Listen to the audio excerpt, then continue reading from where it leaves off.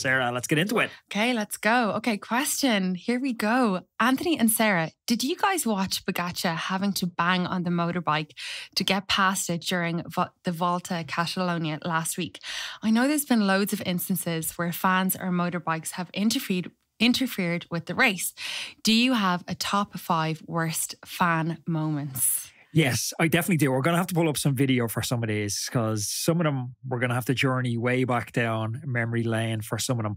Okay, Sarah, first up, I want to talk about this one is absolutely hilarious. I remember watching this on the TV in disbelief. I was picking up my phone for anybody who would answer. I was like, "Do you see what's going on in the Tour de France? It's absolutely insane." Right, let's check this out. Watch this. It's Chris Froome. So this is Richie Porte coming up. The crowds are insane as they always are on Ventoux. Motorbike hits the brakes. Richie Porte goes into the back of the motorbike and then it just turns into nonsense, absolute farce like we've never seen in cycling. Froome goes into the back of Richie Porte, His bike breaks and he sets off jogging up Ventoux. Uh, Oh my god, it's actually crazy. I this is before my time really watching cycling, and when you showed me this, I was like, "This is insanity." Now you can tell as the minutes go by, Froome is definitely getting a bit gassed. He's on. He's running cleats. He's, he's running cleats up Ventoux. He's on the um. He's on the mic to his team car, just being like, "Where the hell are you guys?" The best bit's the motorbike there that goes past, like, do you want a wheel? And he's Tries like, to ah. hand Oh, wheel. and then, look, keep watching, keep watching, because then Mavic neutral support comes up because his own team car can't get up. Mavic neutral support comes up and they give him the worst bike you've ever seen. Like, you wouldn't cycle to the shop on the bike they gave him. It's like a comical clown. You know, when the clown gets on a really, really tiny bike and he couldn't get clipped in either. That was kind of hilarious. Do you think that the fans should be on, you know, Ventoux, on d'Huez like that? It is sketchy, isn't it? yeah, there's so many different ways of looking at it, isn't there? Should fan they, they interact? I don't think they should influence the race, which maybe leads me on to maybe the most famous interaction between a fan and a rider of all time. It's 1975. It's Puy de Dome, Eddie Merckx, and he gets he gets gut punched for Yeah. want of a better word. He gets sucker punched. Yeah, sucker punched. Somebody just straight out, no messing, and just straight into him. It's just awful, frightening. Yeah, and you are that close to maniacs is the thing. you are. So, uh, look, you don't like to see riders get punched. Obviously, that's 1975. We haven't had that many bad instances. I know we're going to go, we're going through five of them here, but we haven't had that many bad instances. I don't think it's bad enough to stop the fans being up close and personal because we run Alpe d'Huez, and that's kind of what makes cycling magical. You get that close to the fans. Yeah, I agree. And that Eddie Merckx one, that was very deliberate. I mean, the guy literally socked him one, whereas the rest of the incidents with fans or motorbikes aren't deliberate. They're a lot of stupidity, I think, from fans or not taking care. Of course, you've got phones now, so everyone's taking videos while watching the race going up. So, no malice to a lot of these, just extreme dumbness. there's a whole category of them. I call them just hooked bags. There's, there's Mm. no malice at all, but people just not understanding that the handlebars go that close, and if you have a strap off a bag, there's potential for that strap off a camera. This probably isn't in everybody's top five, but just because we were there on Alpe d'Huez that day, I wanted to throw it in. Vincenzo Nibali on Alpe d'Huez, the day we were there. Don't know how sober I was. I was definitely pretty Not at all sober. I was. I can vouch for that. Dressed in just green, white, I- and orange body paint, I sprinting think up the middle of the road. There's an image. Anyone who wants to pay for that to get that image, I can send it to you. You were drinking warm beers out of a backpack all day, but it wasn't you who hooked this Nibali, Passing No, it certainly by. wasn't me. No, I wouldn't be showing my face if it was. Nibali got hooked by a fan accidentally. He went down, he broke his vertebrae, it turned out. A fan pretty aggressively tried to put him back on his bike. Never a great idea when someone has a broken vertebrae. I'm sure their intentions were good. Nibali went on to finish that stage. I'm going to say seventh, if my memory serves me that day, which is pretty amazing considering he had a broken vertebrae there's also another category in the kind of or another crash in that same category and that's we have to journey all the way back to 2003 and stage 15 for an incident involving the man we shouldn't name mr lance armstrong Voldemort. Voldemort. he was hooked by a shopping bag again but why that's so famous he went on to win the stage but he was hooked by a shopping bag when he was in the lead group and his main competitor at the time was jan ullrich Armstrong went down in the yellow jersey, and there's a beautiful tradition in the Tour de France that when the yellow jersey crashes, the race gets shut down. And everyone had assumed that Ullrich, his bitter competitor, was going to attack when Armstrong went down. And in a beautiful piece of sportsmanship, say what you want about that era, but in a beautiful piece of sportsmanship, Ullrich shut the race down and he waited for Armstrong to get back to the front of the race. Armstrong subsequently dropped them and won the stage, but that's that's a different story. So that was brilliant. But there's one more clip I want to also look at because this is kind of in our time watching cycling together. And that's the Tony Martin one. Yeah, this this I always say broke the internet. I know I say that basically every week, but this. I mean there was wasn't a person on the planet not talking about this person. I'm sure they had to go get like reconstructive plastic surgery so no one ever recognized them again and knew them as the person. I think they got a lot of hate from it. they got a lot of hate. Yeah a lot of hate. Ale Omni was was it Ale? Ale Omni Omni? Is that like Oppie Omni or something like that. I think it's basically like hi granddad. Something like that anyway. Brutal? so this person had this sign out, completely got in front of the peloton, and not just one person came down. Everybody came down. This is the moment where the bunch is coming through. They're all very close together, and this lady with the cl- with the sign just gets in everyone's way. I mean, have you seen a stack up like that? There's bodies. the entire bunch went down. The entire bunch. Oh my God. And like you can really see her face as well. She, she got a bit of a whack, a bit of a belt of an elbow as well. I think who was that in front? Was that Martin in front who took the Tony first Martin hit? took the first hit and he broke his collarbone. he broke his collarbone off that lady, I think, because he kind of put his elbow out to, you know, maybe kind of scooch her out of the way. But yeah, that is definitely one for the record books. whole bunch down. Tour de France opening week, normally chaos, and it didn't disappoint. No, absolutely not. Okay, so the next question, and this is from Jason. Why is it that some riders, when they're out, even if they're chewing the bars in the middle of interval sets, can still greet other riders with a nod, a smile, a wave, or even a how, how are you getting on? And yet others seem to look straight through you as if you're not even there. I seriously just don't get it.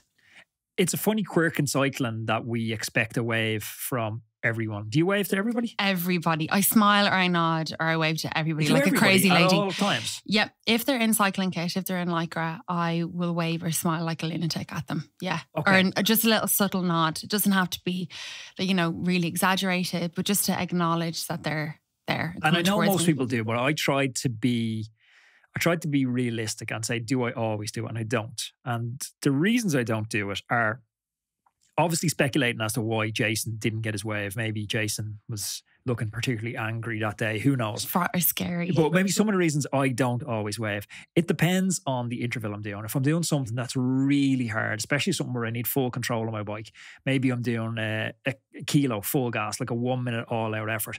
I'm not stopping to wave to somebody in the middle of that. Can, no one's making you stop, but you can nod or you can give a wink or Yeah, you I can don't. give a smile. I don't. So uh, that's It is like, an option though. That's one reason. If I'm doing uh, interval, maybe I don't. There's also personality types. Not everybody's an extrovert. Some people are just different personalities. They're introverted. They just like to go out and mind themselves, listen to their podcast, and they don't really buy into that because maybe they're not in cycling for the traditions or they're in a different bubble. Also, different cycling cultures are different. So I've spent some time riding in France and it was a very close knit cycling community. The hub of the town was around the bike shop. Everybody met there. Whereas Canada, it was a more dispersed cycling community. There wasn't really that same sense of it's us versus them. We're all in this together, this collegiality or camaraderie. So that changes the dynamic on the road as well. Also, uh, what's where I was kind of challenging. What did you wave all the time? Because I'm going to call bullshit on that and say you don't. Because if you're wrecked at the end of a ride, when you're absolutely ruined, you know those days we've all had them where we haven't eaten enough, the weather's miserable, we've had one or two punctures, and life's just not going our way. yeah, I still wave. I I still don't smile. think you do. Hundred The day you cried coming home and you had to get a McFlurry, you were waving at people that day. like I don't know, maybe I was grimacing at them. The day I, I that was one of the days that I bonked and had to pull over and have a cry. 100% I'm still nodding or acknowledging somebody, You're just a even better human. even making eye contact with somebody. Hold it, you can't hide behind making eye contact. You're wearing glasses. Well, whatever, just nod or smile or anything. I just don't feel I'm a huge advocate for this kind of, yeah, I want to back this camaraderie. I want to back this. We're in Lycra, we're out in the roads, we're doing a tough thing. Just don't be a miserable arsehole. I, think and that's me though. and I think as well, if I wave at somebody, or as I said, I very rarely wave, I'll do the, the country nod, you know, up or down, or I'll smile. I might give a little bit of a, you know, fingers off the Or handlebar. maybe blink behind your Yeah. but like, if they don't reciprocate for the next couple of minutes, I'd be like, oh, You're like one of them people that flash the car fucker. to warn people of oncoming speed traps. Yeah, of course. I do that as well. If there's a speed trap and I've passed it, of course I'm putting my flashers on to, to warn everybody else. And people who don't warn everybody else that there's a speed camera, come on, get a grip. I think the main thing for me is it's just day to day variability. I change like the weather. If I'm having a good day, I'm everyone's friend. If I'm having a bad day, I'm just going out and put my headphones in and I want to be left alone. That for me are some of the reasons that Jason mightn't have got his reciprocal nod. Don't lose sleep over it, Jason. It mightn't be Don't, personal. yeah, don't lose sleep over it. Okay, next question. Anthony, how do you deal with irrational fears on the bike? Because I'm not a great cyclist, I don't have the confidence on steep 20% plus segments, especially on cobbles, that I'm going to be able to pedal hard enough to not fall over. And I don't have the confidence in my foot reflexes to get out of the pedal in time. Do you have any irrational fears on or off the bike, Anthony? Yeah, I think there's two different things here, isn't there? There's a irrational fears, which I know you're better at talking about. I might leave that part to you, but this isn't really an irrational fear because people It's come rational. off the bike all the time, Yeah, including pros rational. in 20% plus gradients. So I would say this is more, uh, it's a preparation issue where Mm. you go, well, can I check uh, 20% gradient when there's not a crowd around and see if it's possible for me to ride it? What are maybe some of the problems I'm having? Is it because we're buying bikes a lot of time with 53, 39? This is a drip down from the World Tour riders who use this gearing. But maybe for our level, for our body weight, that's not a particularly suitable gearing to go up a 20% gradient, even with a big block on the back of like a 28, 32 on the back. You might need more gears than that. So it could be a gearing issue. Is one of the reasons you're struggling maybe a traction issue? That could be a pressure in the tires. Depending on what tires you're running, Silca have a great tire pressure calculator on their website, which I always use, where you can pick your brand of tire, your terrain, your body weight, and it'll tell you the tire pressure you should be using. That'll give you a bit more traction. And anyone that's been out mountain biking will tell you how you distribute your body weight over the bike has a massive impact on your traction levels on those type gradients. Like leaning a little bit further forward with your head will weight the front wheel more and give you more traction there. So I don't think this is an irrational fear. I think it's quite a rational fear, and a little bit of preparation will maybe overcome it. There's also maybe a, a time to walk in Yeah. these things. I totally agree. This was what I came up against in Santaval during the gravel race that we did a couple of weeks ago in Girona. It was gravel, it was these kind of 300, 200 meter pitches at 20%, very, very technical. And yeah, if I couldn't get up it, I just got off and then I tried to tackle the next one the next time and not get off. Like it's it's okay to do that. Um I think this listener is also afraid that they're going to fall off because they're not going to get their foot out of the cleat in time. There's other things you could do with regards to that. Like you can loosen the tension in your cleat, Different color cleats. different color cleats. Yeah. blue, red, yellow is this the sliding scale on Shimano anyway, from tightest to loosest. Yeah. I think with these irrational fears, I mean, I, I, I don't agree that this is an irrational fear. It's usually these fears stem from not being in control or being afraid that you're going to make a show of yourself or hurt yourself or you're going to be embarrassed or anything like that. So I think, as Anthony says, if you just control the controllables, if you practice, that this will all just become completely second nature to you. And completely irrational fear that I have is of swans. Like, I mean, that just makes absolutely no sense whatsoever. If I see a swan, I will go like 50 meters around it so not to pass it. That's completely irrational. But yeah, I just think practice, practice, practice and try and face those fears and keep going up those 20% climbs. 20% climbs, how many are there with cobbles on them? a lot. You should practice spending time with swans. okay, next question. And this is from Paul. Paul is looking for some advice, Anthony. He needs some tips on backside recovery. He said he's struggling today after a big ride yesterday. Yeah, it's a problem that a lot of people get, especially if you're doing a lot more volume than you're used to. We're having people at this time of year signing up for a lot of the sportifs that are simulations of the classics, people going out and doing Flanders, doing Roubaix, and they don't typically ride that distance at home on a regular weekend. So their backside is ruined after it. A couple of things that really work the next day if you go onto YouTube, there's loads of good stretching workouts that you can bring yourself through. It's not glamorous and it does take time, but stretching out your glutes, your hamstrings, your lower back, and your hips will definitely help the next day, as will some gentle foam rolling, or if you're lucky enough to have access to a professional masseuse, getting a massage. They're all really going to help. But some other things that I've found through the years that really work soaking in like an Epsom salts warm bath, just lying there, or a jacuzzi if you're a member in a local gym or you're a millionaire and you have your own jacuzzi, that will work too. Compression gear is another one that I really like. We have a set of compression boots in the house and I throw them on. They're going to loosen up the hamstring, which is going to, you know, feed into the glutes because we're so interconnected. The last one to consider if you're getting this as a repetitive issue time after time, it's back to basics and looking at your bike fit and seeing is there an underlying problem that's causing this rather than treating the the you know the actual cause or rather than treating the symptom treat the cause? Yeah. I think um the bike fit you know certainly when i got one it completely changed my time on the bike. That and i fi- finally found a saddle that i absolutely love and is really really comfortable. You one have thing, shares in that i do yeah. I the i different the, colors and all around the house. The thing is that like that saddle might be totally chronic for somebody else, but for me, it's absolutely perfect and I love it. The thing I think that you miss, Anthony, is, and I find this alleviates a lot of pain, is when you're on the bike, try and occasionally stand up out of the pedals. You know, stand on the bike if you're going up a stand hill. Stand out of the saddle? Sorry, stand out of the saddle. Yeah. So, like, let the let blood flow there. Let give your those particular muscle set a little bit of a break. Certainly something that helps me a lot. Well that was particularly bad on the tandem when i was riding the tandem with peter because the tandem it's actually a bit of a skill to stand up because you both have to stand up at the same time and it, it's the bike is pretty unstable when you stand up if anyone's ridden a tandem. So you're because of that less inclined to stand up that frequently and you find yourself at the end of a ride with your ass totally numb. Mm. yeah when you're on the tandem you'd be coming home every after every training session asking me to give give your glutes an elder rub. That wasn't me. That must have been an old boyfriend okay, next question. And this is from Luke. Hi, guys. I'm new to cycling and new to watching cycling. I hear a lot of people talking about the professional cyclists going for high altitude training, and I was wondering how and why this works.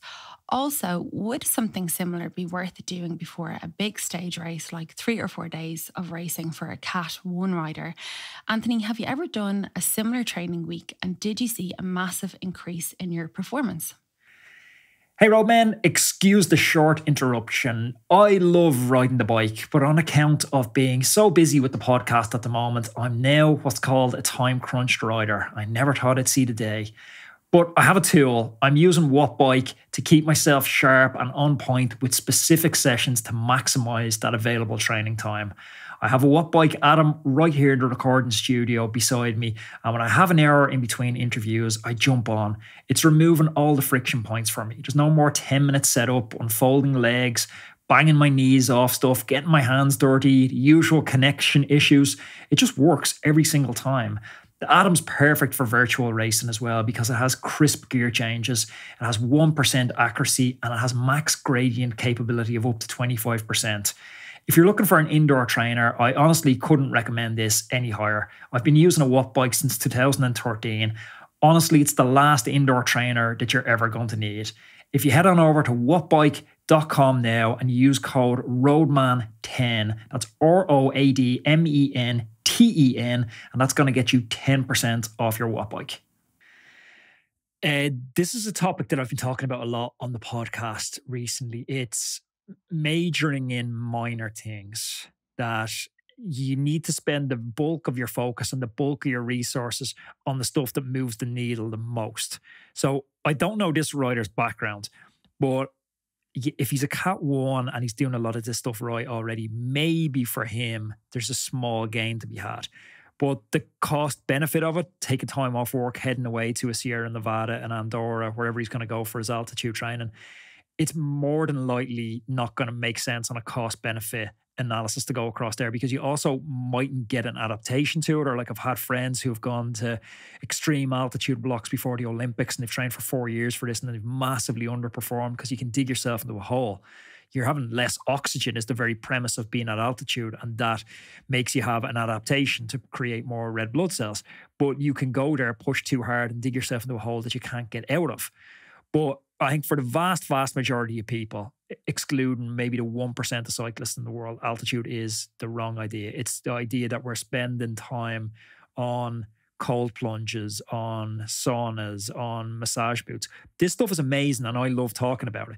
But that stuff can't be a replacement for making sure you're moving enough, making sure you're spending enough time in zone two, making sure you're optimized the time across the other zones, making sure your bike setup is good, like the very basic stuff that makes a cyclist. And I think it's been too trendy for the last four or five years to talk about these small marginal gains. I had a physiologist on a couple of days ago, and he's just like going, if anyone talks to me about ketones, and then I look at their TrainingPeaks and they have a training stress score, a, a CTL score under 120, like just get away from me. Like these things make tiny differences to the elite performers. And so, if, for instance, uh, Luke wanted to go away for a week before a event or a couple of weeks before a, an event, and he was kind of saying, "Okay, well, I'm going away to do a block anyway."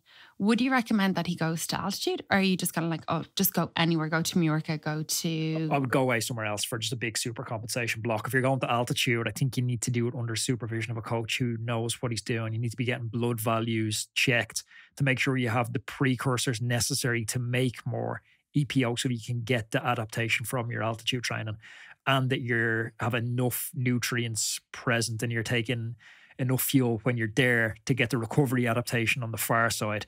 So it's not just a case of oh book a week up in Sierra, Sierra Nevada. Nevada. Yeah. If it's your priority event coming up after, it's just risk to return is too risky. Yeah. Pogacar is up in Sierra Nevada at the moment. Knows up what in he's that doing, thin though. air. He does know what he's doing. More than most. he definitely does for sure.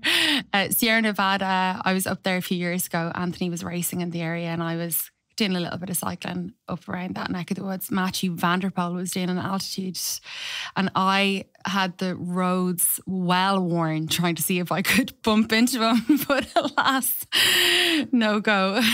so Anthony, or sorry, Luke, Anthony says, no, I'm afraid no Sierra Nevada for you this year. Okay, hi Sarah and Anthony. But I guess maybe this question is more for Sarah. Do you ever feel self conscious in your cycling kit? It literally takes me about an hour to psych myself up to leave the house in my cycling kit. I just feel very exposed.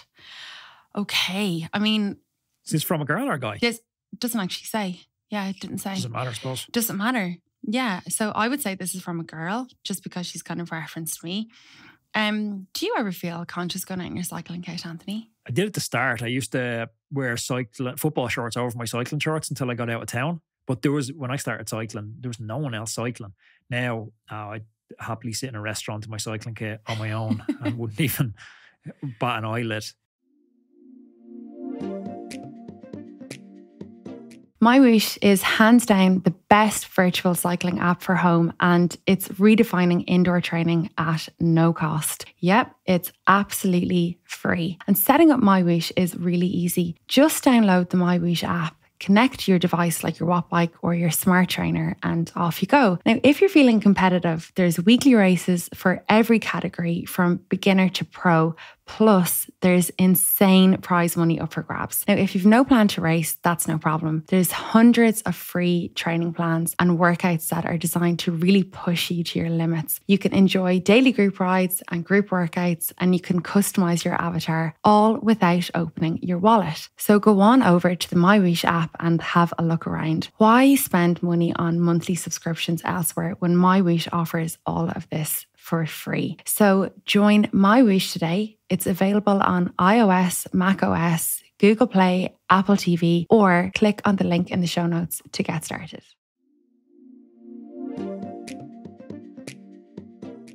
Yeah, I think at the beginning, so for this listener at the beginning, I would have been quite you know, quite self-conscious in it and kind of you know would have taken a lot to get out in full kit because you do yeah this is very good these words here i just feel very exposed thankfully there's other options now if you're not feeling comfortable in skin tight lycra and what i would say to you is don't let the clothes or the kit stop you from going out on a ride. Yes lycra cycling specific clothing is more comfortable and it helps you you know not chafe and it helps you it performs better.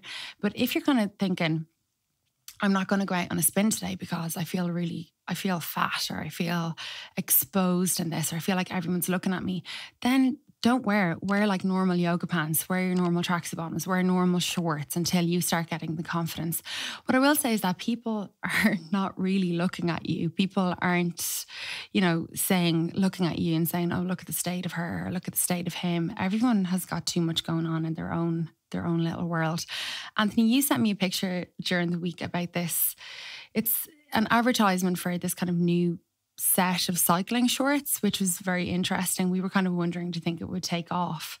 It's essentially a cycling shorts with the chamois, but then it's kind of got a little pleated skirt around it. So when you stand up from the uh, saddle, the skirt kind of hides your bottom or the, the top of your thighs, which I think is like, I wouldn't wear it. I think it looks utterly ridiculous. But if again, this kind of helps you to give you that little bit of confidence to go out. In fact, I did see a lot of girls wearing these when I was over in Abu Dhabi.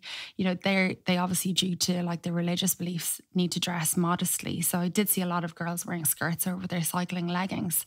Um, so they're an option. Um, and yeah, I mean, as I said, just get out on the bike and try and not worry about being in, you know, cycling kit or how is there an angle for that skirt for Scottish riders who might want to wear a kilt cycling? a male skirt for Scottish riders. This for a listener, and we actually uh, in other news about shorts during the week, we had Chloe Dygert. She's the American champ at the moment she got a little bit of grief on uh, social media this week because she was riding in Ghent Wevelgem and basically her shorts are extremely short. They're more like volleyball shorts than cycling shorts. And of course, people were taking to Twitter to comment on this. You know, Jens Decker on Twitter basically said that we can joke all we want about sock length rules by the UCI, but if they don't regulate clothing, you get things like Chloe Dygert's shorts, and those should definitely be outlawed. And then someone underneath, poor Bob, Bob has never seen a woman or a flash of a leg in his entire life because he wrote, agreed. I was horrified when I turned on Bob the coverage. Bob want to stay off Instagram. I was going to say, and Bob, don't watch the Olympics. Don't watch the volleyball girls in their bikinis. So I look. Apparently, um, Chloe Dygert, she wears these Dygert wears these because she was in a very bad crash back in 2020. She's got very bad scars. The long shorts apparently irritate wounds and stuff that she's previously had.